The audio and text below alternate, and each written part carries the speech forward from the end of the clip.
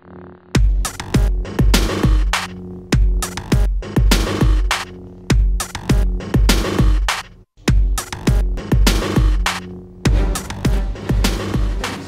Anonymous here. Another little uh, saber trick for you. Um, this is about spinning a saber staff here. Um, when we are going through the orbits, because we don't want to touch this second blade, what normally tries has to happen is we got to keep that elbow kind of way up, and that can be uncomfortable for some people as they go around, so that you don't hit. Go this way here, like this, there. It may look a little awkward or, or, or what have you, but uh, it is, as long as we keep, don't shrug our shoulders, we're okay. Um, but there is a way that we can kind of get away from doing that.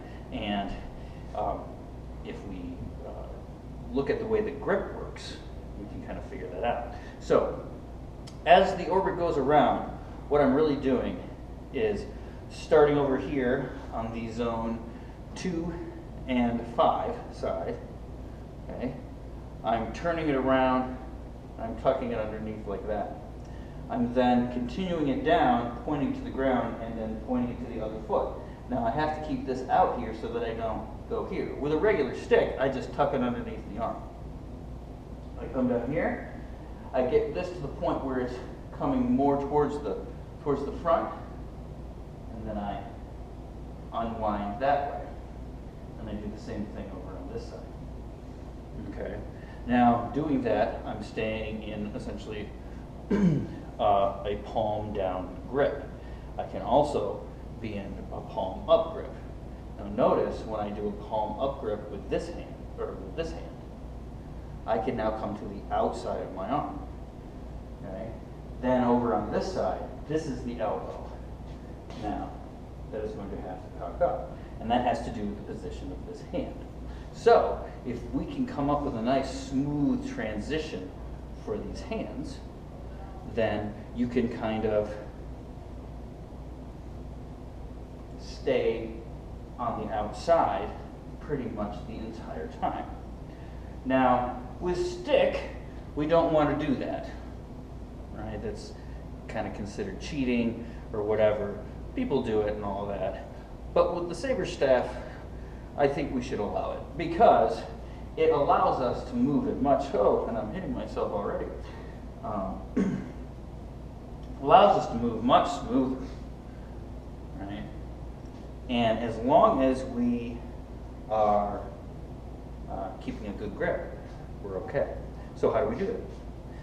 We can start here in this grip and start doing the basic kayak paddle type of thing.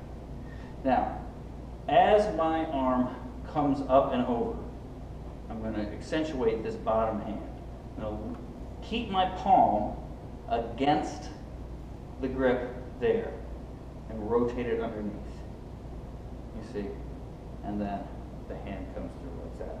Then I'm going to come over to the other side and I'm going to do the same thing here with this hand. Whoops. Then I'm going to grip with this hand and come over here.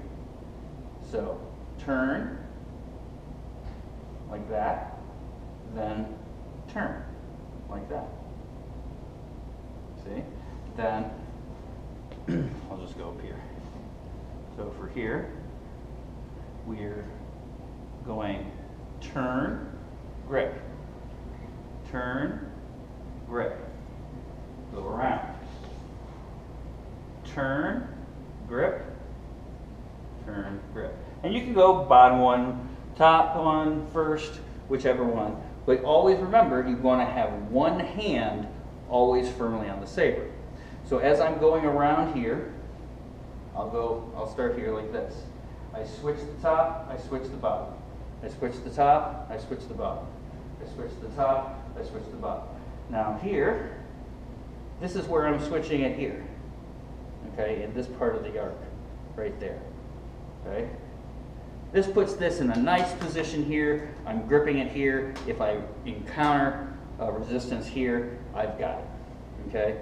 And then boom, now I come up, whoop, I'm more like this. Now I'm pushing it through here. Now I can hold on with this hand and I can just keep it there. You see? So, we keep our hands against the saber at all times, and you don't necessarily have to do it every time. But as I'm going through here like this, you can see that it definitely makes a difference. Now, technically speaking, saber staff can be done one-handed, and that's probably the quickest way to do that, holding it in the middle, right? If you put your hands really close together, you can get kind of a baton type of roll, like that. Okay, you see how I can let go and grab back onto the saber there. Okay. I can move back out into a kind of finger roll. Well, that's, that's the palm roll that we were doing here. Then if I go here, I can roll it over onto the back of the hand and there. So, show that one again. Come through here. I go to the back of the hand. Then notice as this comes out, I just close the hand there. As this one closes, this one opens, and we're back there. And again, over the top, then over the top. Okay? Doesn't matter which one goes first, top one, bottom one. Um, experiment with both. Just remember, always got one hand on the hilt. Okay, so there we go.